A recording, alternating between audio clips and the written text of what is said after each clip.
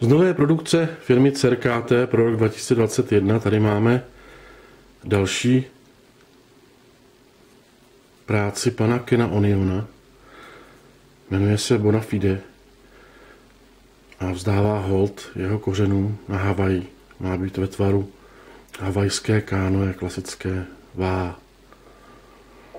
No a další věc, jednak má čepel D2, hliníkovou rukojeť a taky nový systém roze, rozebírání Filstrip generace 2.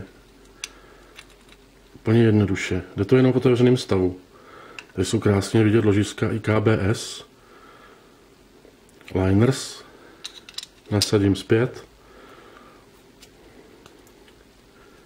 A nůž je zase v celku.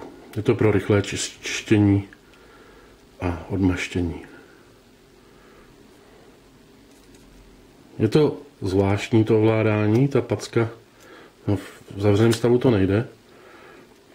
Je to mnohem jednodušší než ten field strip generace 1. Hmm. Teď to zrovna jednoduše nic nevypadá. Třeba zatlačit do strany a nahoru.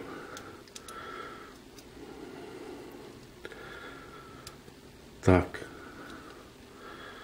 Mám otlačený palec.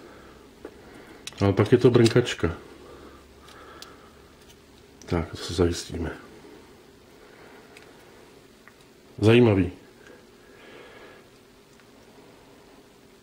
Canonion se na to nějak upnul, na to, na to rozebírání a čištění nožů.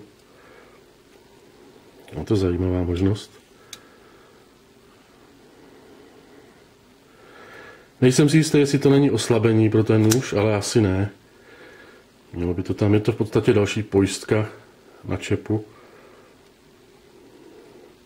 Nůž sám o sobě je zajímavý a potěšila mě ta D2.